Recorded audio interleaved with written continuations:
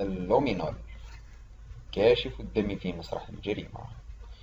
اللومينول هو مادة تعطي توهجا أزرق عندما تلامس الدم وهي مصنوعة من الهيدرازين وبيروكسيد الهيدروجين. يستخدم اللومينول على نطاق واسع للتحقيق في مسرح الجريمة وعلم الطب الشرعي وذلك لأن كميات ضئيلة من الحديد الموجودة في هيموغلوبين الدم تنشط اللومينول وتؤدي إلى توهجه. واللومينول هو مادة تستخدم لفحص وجود دم بكميات ضئيلة جدا بحيث لا يمكن رؤيته بالعين المجردة أو في حالة أن الدم في المكان قد تم تنظيفه قبل وصول فريق التحقيق إلى مسرح الجريمة. وعادة ما يتم البحث عن وجود الدم في مسرح الجريمة عن طريق الفحص البصري الدقيق ولكن إذا لم يكن الدم ظاهرا أو تم تنظيفه فسيستعمل فريق التحقيق اللومينال.